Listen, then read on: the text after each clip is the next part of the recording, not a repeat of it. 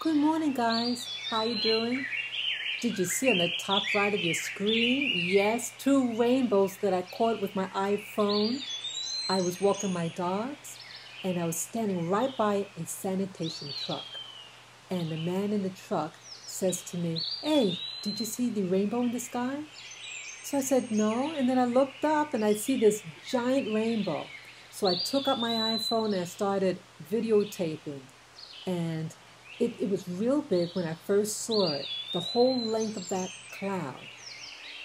And then I noticed that it was shrinking and it was disappearing from the left, you know, what I'm showing now, and then it's going towards the right.